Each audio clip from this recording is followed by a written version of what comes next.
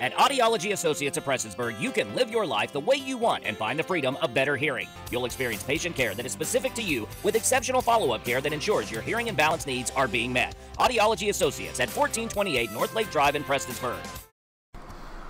The University of Pikeville is currently seeking applicants from all walks of life for paid positions in their standardized patient and human model programs. The programs each help medical students hone their skills by allowing them the chance to interact with and perform routine diagnostic exams on live patients in simulated real world scenarios.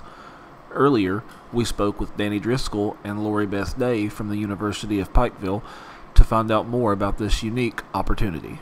Our standardized patients are um, basically actors, actresses that uh, portray uh, different patients with different injuries or illnesses, and uh, they're our main means of uh, helping our medical students uh, practice their ability to interact uh, in a clinical encounter with simulated patients that are also real live human beings.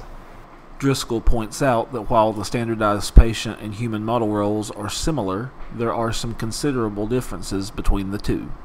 The standardized patients, it's a more of a non-invasive, uh, in a in a gown with shorts and that kind of thing underneath, and uh, just interacting like a regular doctor's visit. The human models are people that actually uh, volunteer to uh, have more invasive exams performed on them. We have uh, male and female models, so the female model uh, would have students doing the breast and pelvic exams on them, and the male model would have students doing like the prostate exam on them. While the experience may sound uncomfortable to some, for those who are still interested, Day points out that compensation for participation in the program is very competitive. For the standardized patient, it is $20 an hour. For a human model, it is $40 an hour since that's a little more invasive. For the standardized patients, we run usually at least eight days per semester. For the human models, we do about the same, um, but it's all clustered into one for human models. So We'll do um, female exams in late July, early August, and those are about eight days within two weeks. And then we'll do the male exams in January. You get paid a good two hours just to come and eat.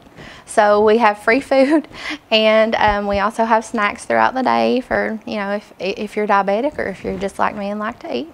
Um, and then you can go and hang out in the lounge and you pretty much do sessions that are about 15 minutes and then you get 15 minutes off for the student while they're writing their note. You can just hang out and it's a very easy day. I always looked at it as a day off. Even though you're, you're working, you're not really working. It's a whole lot of fun.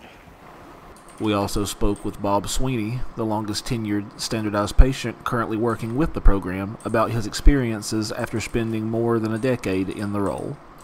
Well, it's been a real learning experience. It's been a lot of, it's been fun. It's, but, and it's great to see and work with young people that are wanting to do something with their lives, wanting to do something more than just get by. And it, the students appreciate what you do, I believe. And, and th that in itself is, is, is pretty rewarding.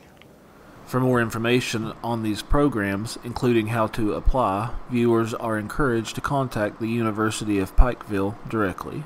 For Mountaintop News, I'm Joshua Sloan.